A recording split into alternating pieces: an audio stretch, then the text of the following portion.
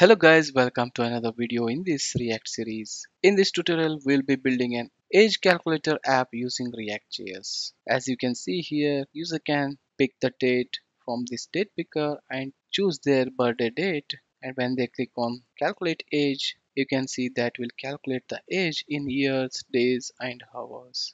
Let's open the code editor and see how we can create this app in React.js.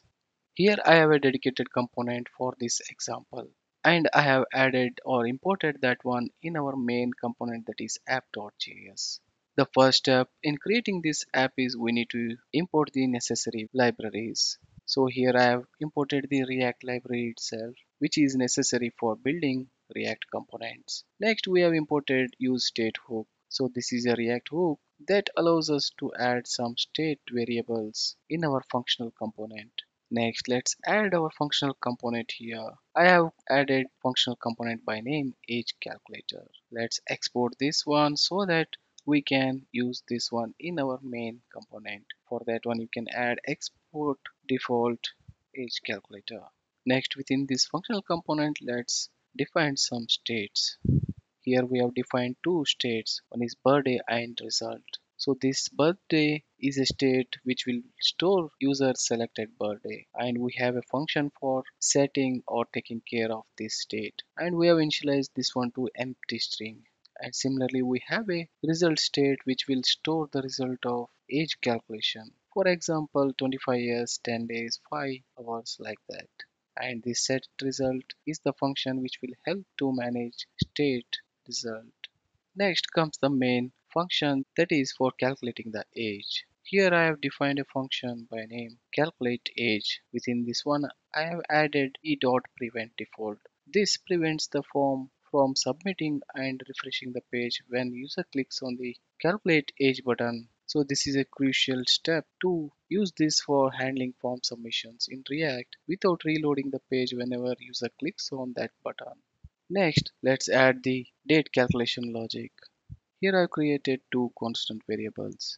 Here we have created a JavaScript date object from the birthday string which will allow us to work with the birth date and calculate the difference. And we are saving that one in a variable birthday.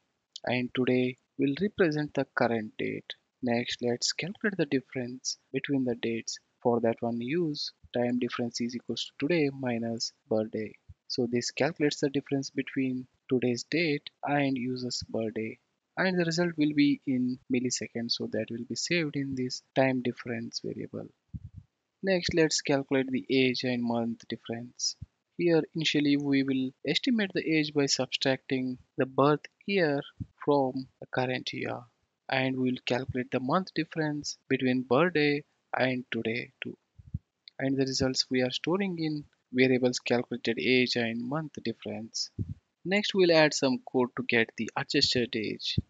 Here you can see if user entered a birthday this year, in those scenarios we'll get the negative numbers for the month and the date. In that scenario we are going to calculate the age by subtracting 1 from the calculated age for our accuracy. Next let's add some code to get the years in milliseconds.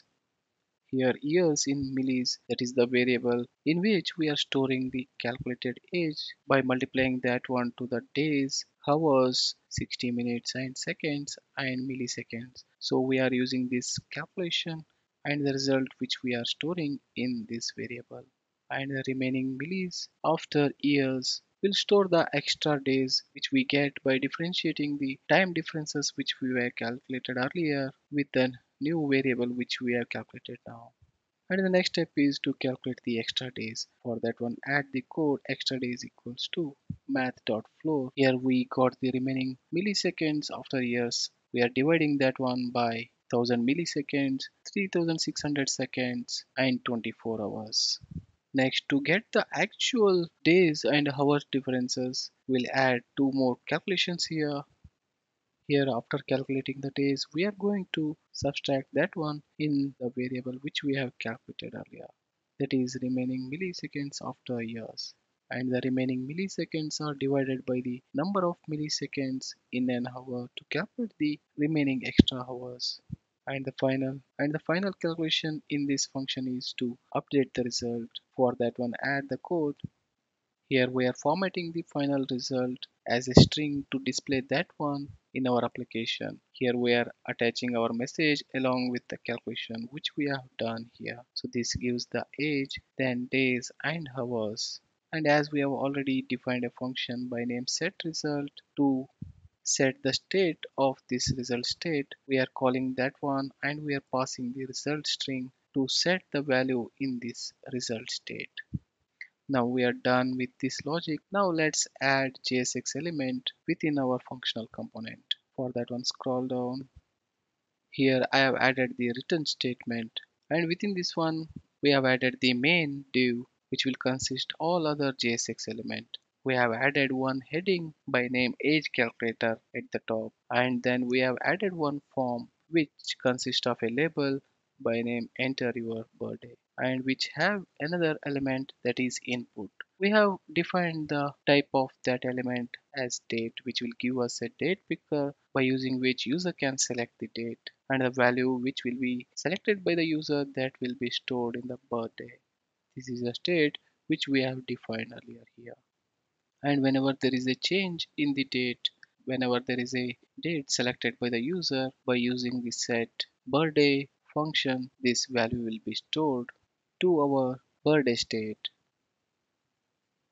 Next at the bottom we have added one button. On click of this button, this function will get called that is the calculated age which is the main logic which we have defined.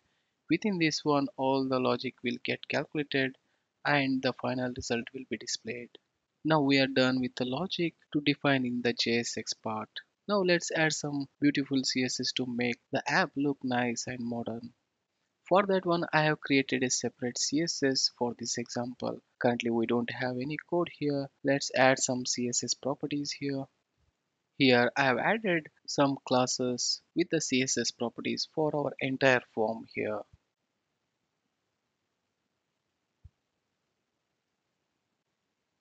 Here age calculator container is the main container which uses the flexbox here to center the app vertically and horizontally within the viewport by using these. And we have given some of the background color and font family which we have set to standard Arial.